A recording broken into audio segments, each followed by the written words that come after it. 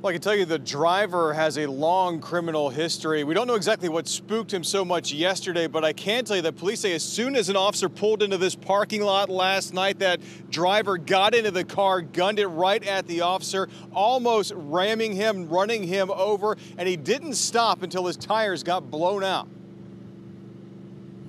Gregorio Salazar and Nicole Blankenship both in front of a judge this morning after a night in which investigators say they almost ran over an Ocoee police officer in front of this store.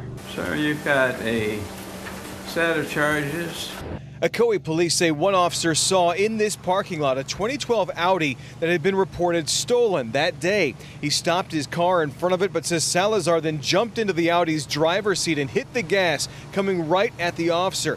He allegedly rammed the police car's door, and the officer said he had to jump back to avoid getting hit. He hurt his wrist in the process. Police say Salazar sped off with Blankenship in the passenger seat. Other officers tried to pull them over, but authorities say that did not work, so they they used stop sticks, making them swerve off the road. The pair allegedly tried to run but were taken down and arrested. And according to a criminal complaint, an officer found a glass pipe in the car along with a substance that tested positive for methamphetamine.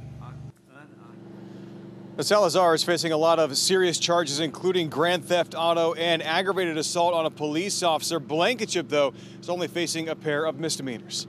Reporting live in Ocoee, Bob Hazen, WESH 2 News.